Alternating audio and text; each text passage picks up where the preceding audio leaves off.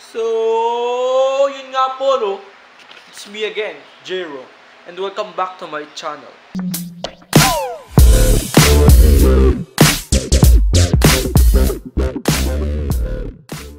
So ngayon, tuturuan ko kayo kung paano mag-charge ng cellphone. Ang unang kailangan ay cellphone. Pangalawang kailangan ay adapter, cord.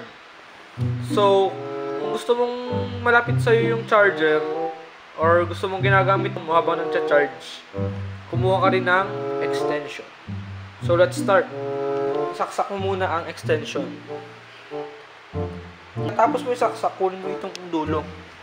Lapit mo dito sa may charger. mo ito, sasaksak mo dito. Yan.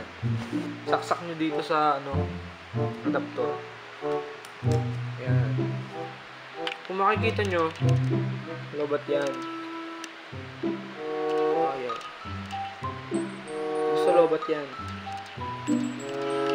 Tapos, pag isaksak nyo na yan, yung adapter tsaka yung cord sa extension, saksak nyo naman tong ito sa itong ano, cellphone nyo. Ganyan. Yan, charging. So, pag pinatay mo yan, nakalagay dyan. Charging na yan. So, ayun, dito na nagtatapos ang ating vlog.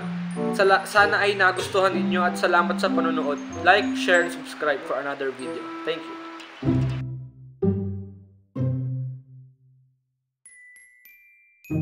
Ako'y tayo, ikaw ay akin. Ganda mo sa paningin.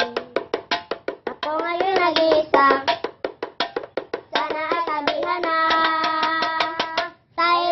escuché.